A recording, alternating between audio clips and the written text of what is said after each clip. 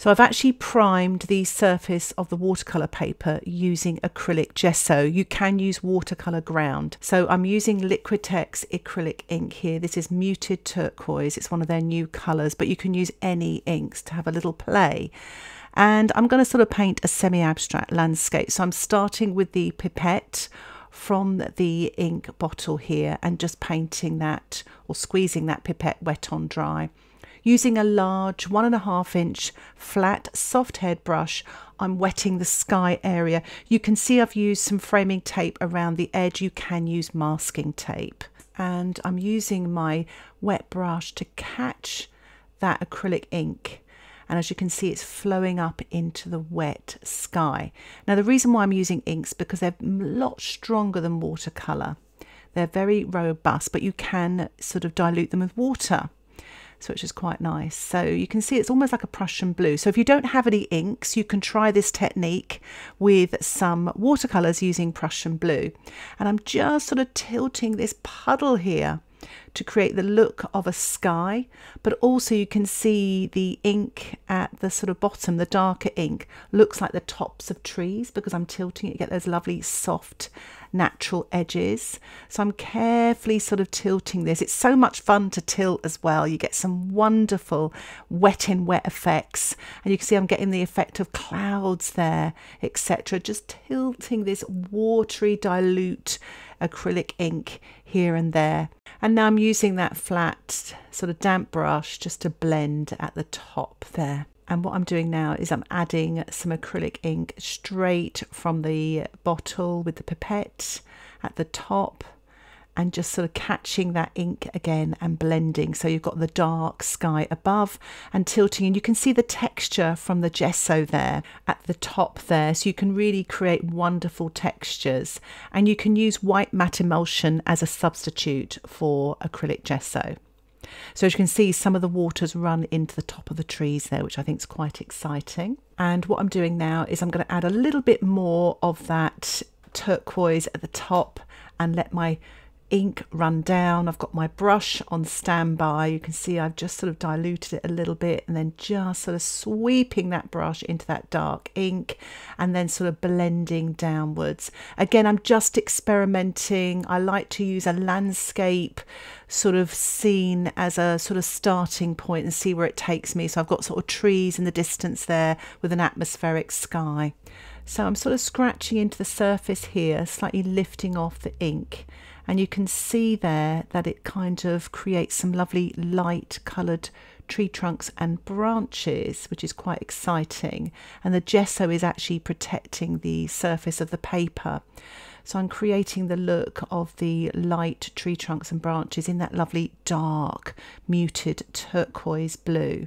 What's so lovely about this is you can use your imagination. You can just play around. I'm just using one colour here as well. And again, you can use watercolour the Prussian blue or phthalo blue or turquoise, etc., indigo. And I'm using the plastic card just to pull down some of that wet ink as well to create some darker tree trunks, which is quite nice. I haven't actually used my pencil at all, and I find this very freeing up. Um, it's just exciting to do, and especially if I've used an old sheet of watercolour paper and used the gesso or white matte emulsion over the top. So I'm just using the card now to pull out some of that wet ink to create some details here. And I'm going to use some muted green. These are these new Liquitex colours. Again if you don't have these colours don't worry. You could use a little bit of Viridian um, or sap green or green mixed with some Payne's grey and again you can use watercolours. So I've created an imaginary path there looks like it's sort of narrowing as it goes towards the horizon and I'm spritzing with my spritzer bottle just to see what happens.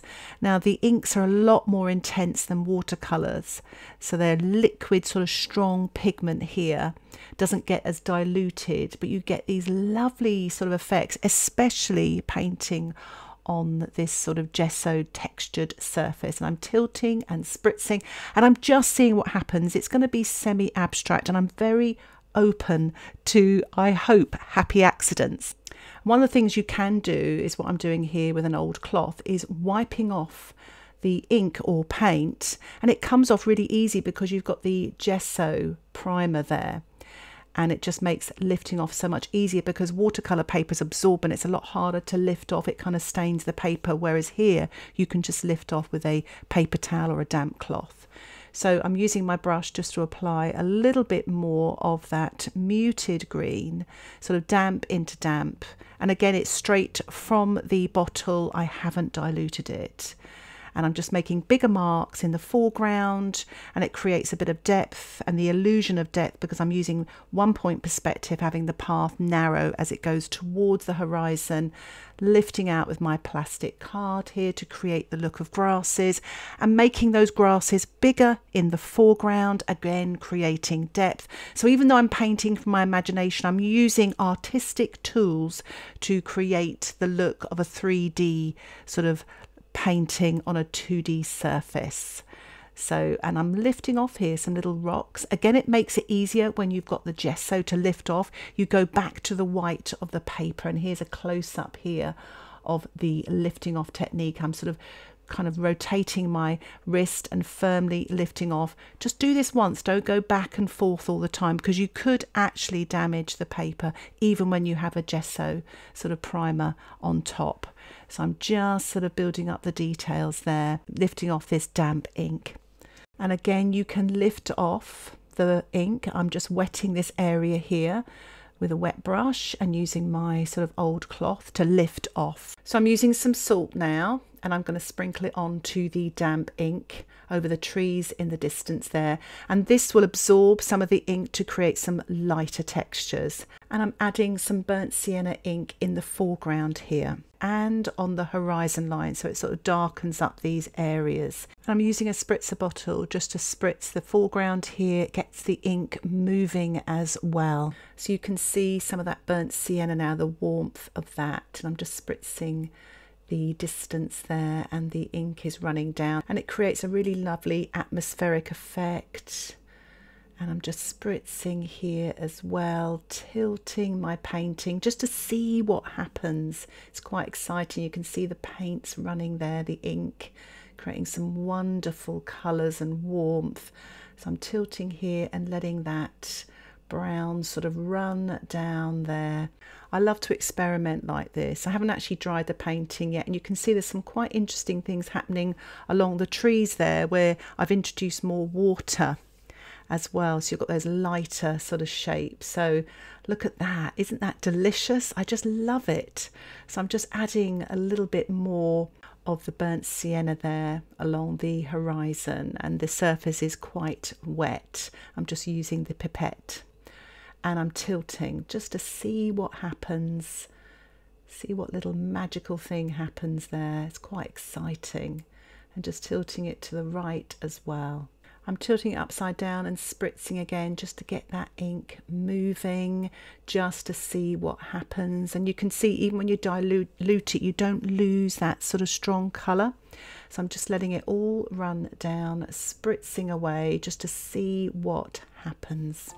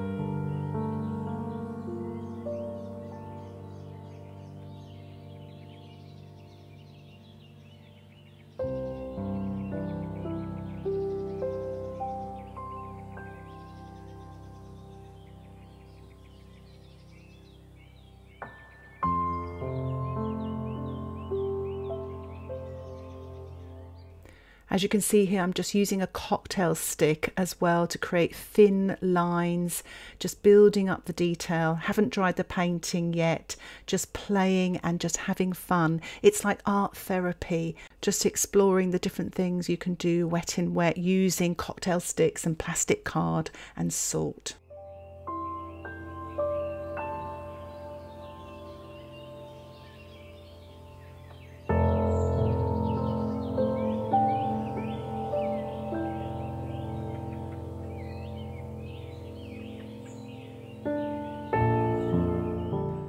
So I'm just finishing off with a little sprinkle of salt and I'm going to allow my painting to dry naturally to allow the salt to work.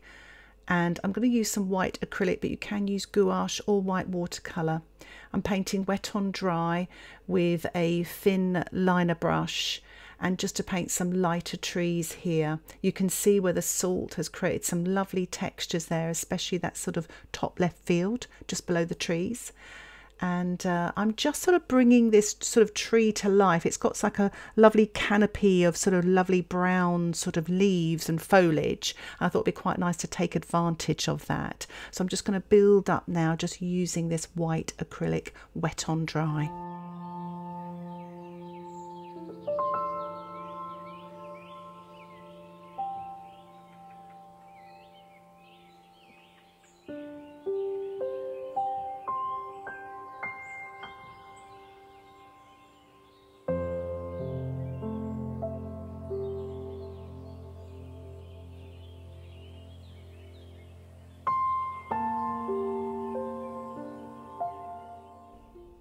Thought it'd be quite nice as well to paint a little white fence with fence posts there just to add a little bit of detail on the horizon line there just here and there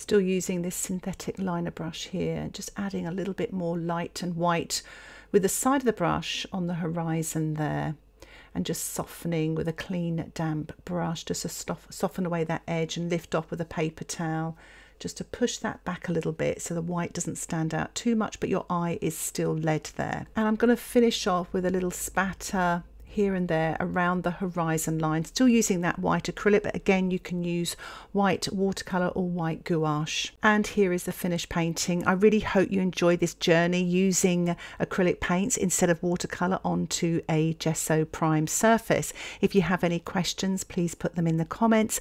And if you'd like to support the content that I publish here on YouTube why not think about joining my Patreon membership? You will get access to weekly exclusive tutorials ad free content, line drawings, and you can cancel anytime. If you'd like any more details about the membership, please see the description below. Thank you so much for watching. Happy painting. Bye for now.